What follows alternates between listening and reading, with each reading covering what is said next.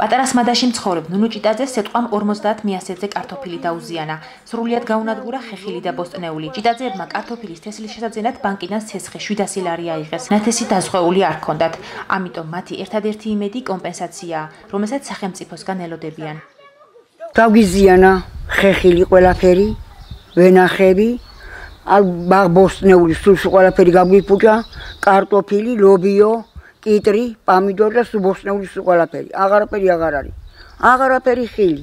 2000-ზე დათესილი კარტოფილი, ლობიო, სიმინდი და 4000-ზე დაგული ბოსტნეული გაუნადგურა სეტყვამ აწყოში მცხოვრებ ავთანდილ ინასარიძეს. კიტრი და პომიდორი ეს ნესი რაღაცები 400 მეტრზე მქონდა. ასეთ მაგის წავიდა სულ. ნახევარსაათიანმა სეტყვამ მოსავალი გაუნადგურა ნუნუ ჭიტაძის მეზობლად მცხოვრებ იმედა ჭიტაძესა, თუმცა მას მიყენებულ ზარალს სადაზღვეო კომპანია უნაზღაურებს. ჭიტაძეებმა ნათესი წელს პირველად დააზღვეს და არც ნანობენ. ერთი ნაკვეთი გამიფუჭა 1500 მეტრი ან 15 მიასეთი. იყვნენ მოსულები სადაზღვეო კომპანიიდან, უნისონიდან. აიღეს შეამოწმეს და 25% დამიწერეს ამ ნაკვეთზე. მაყოფილი ვარ არ ვარ პრეტენზია არ გამაჩნია და რაც არის გაფუჭებული ნახდათ ეგრეა რა სამცხე-ჯავახეთის მუნიციპალიტეტებს ადიგენს, ახალციხესა და ბორჯომს ბოლო ერთ თვეში სტიქიამ რამდენჯერმე შეუტია. ძლიერმა სეტყვამ წვიმამ და ღვარცოფმა ჯამში ადიგენში 13, ახალციხეში 8 და ბორჯომში 3 სოფელი დააზარალა. სამივე მუნიციპალიტეტში ზარალი სპეციალურმა კომისიამ დაითვალა. უკვე გარკვეულია, რომ ადგილობრივი თვითმმართველობა მხოლოდ ინფრასტრუქტურის მიმართულებით გამოყოფს თანხას. მუნიციპალიტეტის სოფლის მეურნეობის ზარალის ანაზღაურებას ვერ შეძლებს ფიზიკურად კომისიაც ძოს ყოველდღიური მუშაობა. დღეს გუმარებით აღნიშნული სამუშაო დასრულებული არ არის. უახლოეს მომავალში დასრულდება, რომელსაც ჩვენ გადავგზავნით სოფლის მეურნეობის სამინისტროს აღნიშნული ზარალის იმაზე აქტის სახით. დაველოდებით მათ რეაგირებას სახელმწიფოსი.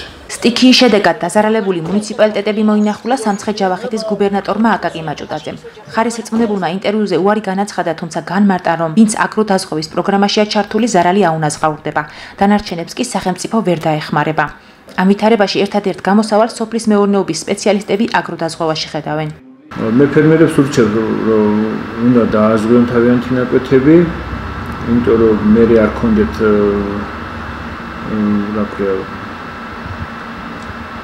სანანებელი იმიტომ რომ თუ სტიქია მოხდა და თუ ეს უბედურება მოხდა მე უკვე რა თქმა უნდა რაღაცა ფუჭდება ფერმერს ფერმერი ზარალდება და უფრო მეტად ზარალდება იმ შემთხვევაში, როდესაც თქვათ ბანკიდან აქვს შესხი აღებული.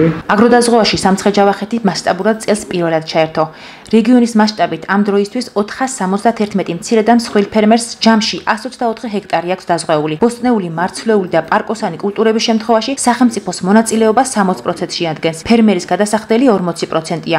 რაც შეეხება ვაზის დაზღვევას, ამ შემთხვევაში ფერმერს 60%-ის გადახდა მოუწევს. ფაქტიურად გადასახადი ძალიან მცირეა. აი შედარებისათვის მაგალითად 1.400.000 ლარზე არის დაზღვეული და თვითონ მზღვეველს გადასახდელი აქვს სადღაც 47600 ლარი. სოფლის მეურნეობის სამინისტრო სამცხე-ჯავახეთის რეგიონულ სამმართველოში ამბობენ, რომ ფერმერებს ნათესების დაზღვევა ახლად შეუძლიათ.